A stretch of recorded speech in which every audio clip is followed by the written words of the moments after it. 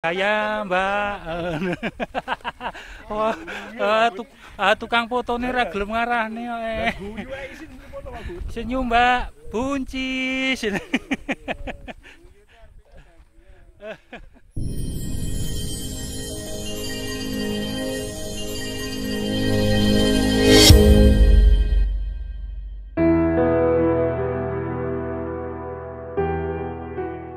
berjumpa kembali dengan kanal KPU TV. Berikut ini akan kami sampaikan aktivitas Gunung Api Kelut untuk periode pengamatan tanggal 1 sampai 7 April 2023. Untuk pengamatan secara visual, Gunung Api Kelut terlihat jelas, asap kawah nihil, cuaca cerah hingga berawan, serta hujan masih sering terjadi, angin lemah ke arah tenggara, selatan, dan barat daya.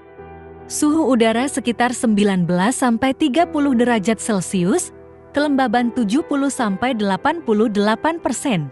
Hujan terjadi pada tanggal 1, 2, tanggal 3 serta tanggal 6 dan 7 dengan intensitas sedang sampai deras. Akumulasi curah hujan dari tanggal 1 sampai dengan 7 April terukur 142,04 mm.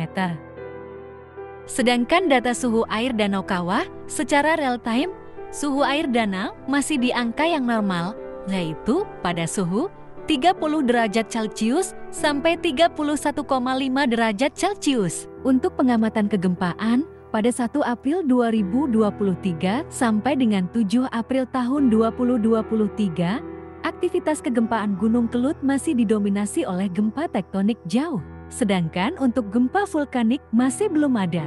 Untuk rekomendasi, saat ini Gunung Kelut berada pada level 1 normal bagi masyarakat dan wisatawan untuk tidak memasuki atau mendekat di kawasan kawah aktif Gunung Api Kelut. Karena bisa terjadi aktivitas vulkanik tiba-tiba yang dapat mengancam keselamatan. Dan bagi masyarakat atau wisatawan agar selalu mematuhi dan memperhatikan rambu-rambu yang terpasang di sekitar area wisata Gunung Kelut.